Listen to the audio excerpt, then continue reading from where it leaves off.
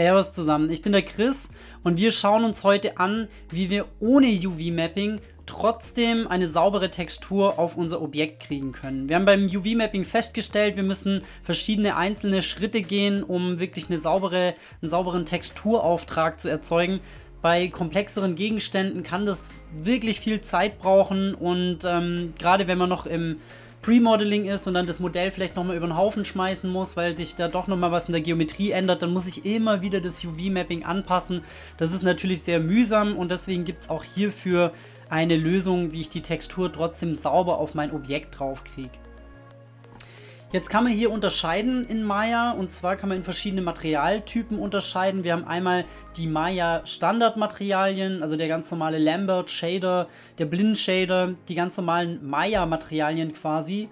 Und dann gibt es noch die Rendermaterialien für Arnold, also quasi eine separate Materialschiene. Und dann gibt es noch die Shader FX Materialien. Und in diesen drei Materialien äh, kann ich quasi arbeiten.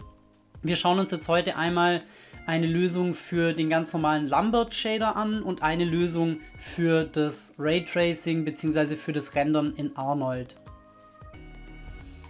Schauen wir uns erstmal kurz die Basistheorie vom äh, Three-Planar Mapping an. Und zwar nehme ich jetzt meinen Körper, ich mache hier ein neues Material drauf und nehme jetzt eben den Standard Lambert Shader und benenne mir den direkt mal in Material Lambert 01. Und hier gehe ich jetzt auf den Color Reiter und stelle hier hinten bei dem Checkerboard, bei diesem kleinen Schachfeld, äh, stelle ich hinten die neuen Nodes ein, die ich hier einfügen möchte. Und zwar, wenn ich hier drauf drücke, öffnet sich dieses Fenster und jetzt kann ich mir hier verschiedene Module auswählen, die ich eben anwenden kann. Und was ich jetzt möchte, ist, ich schreibe hier oben mal Projection rein und klicke hier oben auf Maya, um wirklich alle Nodes zu bekommen und kann hier jetzt den Projection Node auswählen. Und jetzt sehen wir erstmal noch nichts, weil wir keine Farbe hinzugefügt haben, sondern quasi nur die Information, wie die Textur später auf unser Objekt projiziert werden soll. Deswegen gehe ich jetzt hier einmal in den Reiter Image und füge mir hier eine Ramp hinzu.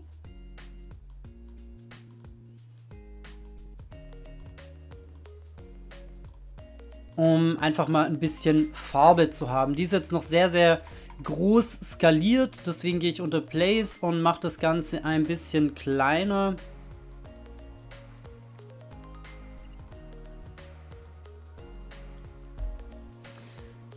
Und wenn ich jetzt nochmal mein Objekt anwähle, ich gehe wieder in den Reiter Color, um in die Projektionsnode zu kommen, dann sehen wir hier, wir haben hier einmal unter Projection Type Planar.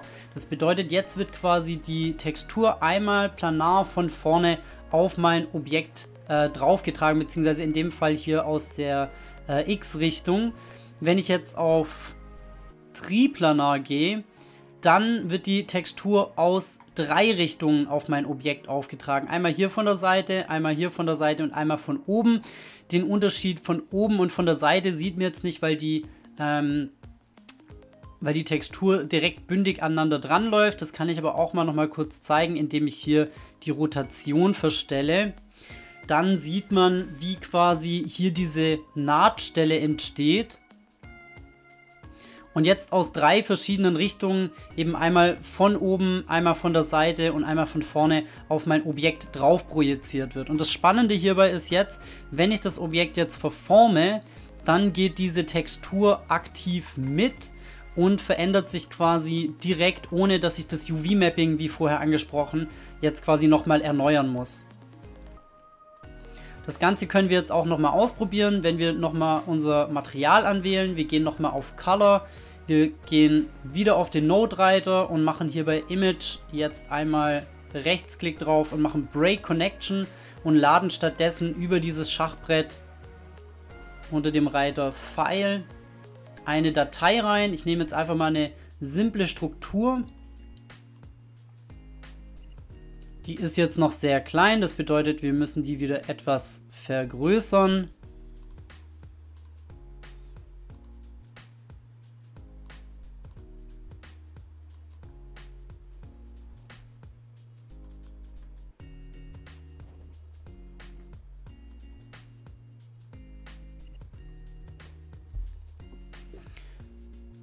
Und haben jetzt dementsprechend unsere Holzstruktur auf dem Objekt. Wie vorher schon angedeutet, wir können das Objekt einfach verformen und die Textur geht eben einfach mit und bleibt auf diesem Objekt drauf kleben. Ähm, ein großes Problem ist jetzt natürlich, dass wir diese Nahtstellen teilweise relativ deutlich sehen. Hierbei hat diese Projection Node jetzt eben einfach den Nachteil, dass ich diese Blendings quasi nicht einstellen kann. Es gibt aber, wie vorher schon angesprochen, eine zweite Möglichkeit und zwar ist diese Möglichkeit über den Arnold AI Shader zu arbeiten. Dafür dupliziere ich hier einfach nochmal mein Objekt, mache Assign New Material, ich gehe auf Arnold und wähle mir den AI Standard Surface Shader aus und kann jetzt hier unter Color quasi genau dasselbe machen. Ich wähle wieder meine, mein kleines Schachbrett an und kann jetzt hier unter dem Reiter Arnold,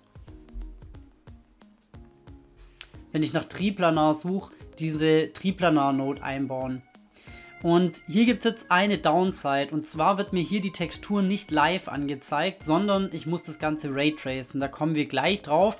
Ähm, vom Prinzip her ist der Node, den ich hier jetzt sehe, genau der gleiche wie der, den wir uns vorher angeschaut haben, nur dass wir hier mehrere Einstellungsmöglichkeiten haben. Wir können hier einmal das Blending zwischen den Texturen einstellen und äh, können da wesentlich mehr ins Detail gehen. Wir können hier jetzt ebenfalls wieder unter Input eine Textur einladen und in dem Fall nehmen wir jetzt einmal das Checkerboard und sehen jetzt eben, wie gesagt, das Problem, dass wir hier die Textur nicht drauf sehen. Wir müssen quasi in den Render-Modus von Arnold reingehen und müssen hier das Ganze auch raytracen, um was zu sehen. Wenn ich jetzt hier auf Raytracing drücke, dann sehe ich hier bei mir schon mal meine äh, Objekte. Das liegt daran, dass ich eine Lichtquelle eingestellt habe. Wenn ich diese Lichtquelle nicht hätte, dann wäre mein Bild jetzt komplett schwarz. Bedeutet für euch, wenn ihr äh, die Szene komplett neu aufbaut, dann solltet ihr euch hier irgendeine Art von Lichtquelle reinholen. Am besten ist es hierbei einfach die Environment Sphere von Arnold zu verwenden. Das mache ich jetzt einfach mal auch. Und wenn ich hier jetzt ins Rendern reingehe, sehe ich eben diese Schachbrettstruktur. Und das ist jetzt natürlich ein bisschen blöd, weil ich, wenn ich natürlich im Modeling bin, würde ich eigentlich auch gern meine Struktur, meine Textur sehen und das ist dann natürlich sehr, sehr schade, wenn ich die nur im Raytracing sehe, aber da müssen wir jetzt erstmal damit leben. Wenn wir jetzt nochmal unser Objekt anklicken, ich benenne den Shader auch mal direkt noch um, Dann gehen wir wieder auf den Color Reiter und können hier ähm, in der Node des Triplanaren jetzt eben mehrere Dinge einstellen. Wir haben, wie gesagt, einmal hier diese harten Verläufe, die wir vorher auch hatten. Und über Blend kann ich jetzt diesen Verlauf quasi ähm, ineinander überblenden. Das sieht jetzt bei diesem Schachbrett nicht perfekt aus, weil man das Gefühl hat, ja, ich sehe den Verlauf ja trotzdem noch relativ stark. Wenn ich jetzt aber beispielsweise mit einer Holzstruktur oder mit einer Lederstruktur arbeite, dann kann das wirklich schon ausreichen, um hier ähm, ein gutes Fading zu erzeugen. Des Weiteren gibt es hier noch die Möglichkeit unter Cell das Ganze zu aktivieren, Enable Cell. Und hier sieht man jetzt, das Ganze wird ein bisschen wilder. Und zwar kann ich hier jetzt nochmal eine Art äh, Random Pattern hinzufügen. Ich stelle jetzt hier mal kurz das Blending ganz runter.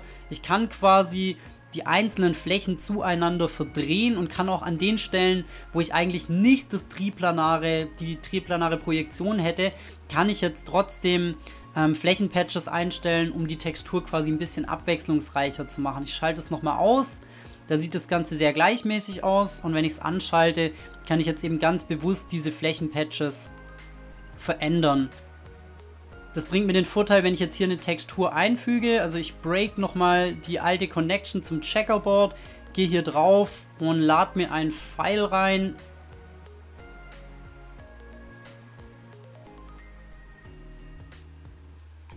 dann bringt es mir den Vorteil, dass ich diese Strukturen, diese Übergänge theoretisch ein bisschen verschleiern kann. In dem Holzbeispiel ist es jetzt ein bisschen wild, deswegen klicke ich hier nochmal auf mein Material, nochmal auf die Color und stelle hier diese Cell eben aus und kann jetzt hier über den Blendfaktor den Übergang zwischen den Texturen ziemlich gut steuern und kann dann eben schauen, was für mich ein guter Übergang ist, ähm, dass ich hier eben diese Materialverläufe sauber erzeugen kann. Wie gesagt, ein großer Nachteil ist jetzt natürlich, dass ich das Ganze eben nur im Raytracing, im Render-Modus sehe und nicht direkt im Viewport. Im Gegensatz zu dem äh, Standard, zu der Standard-Lambert-Lösung, wo ich jetzt eben das Ganze im Viewport schon sehe, wo ich das Ganze im Viewport auch live bearbeiten kann, aber dafür eben diese härtere Kante habe. Wie wir diese Materialien jetzt im Nachgang noch weiter bearbeiten und optimieren können, schauen wir uns dann im nächsten Video an. Viel Spaß beim Ausprobieren!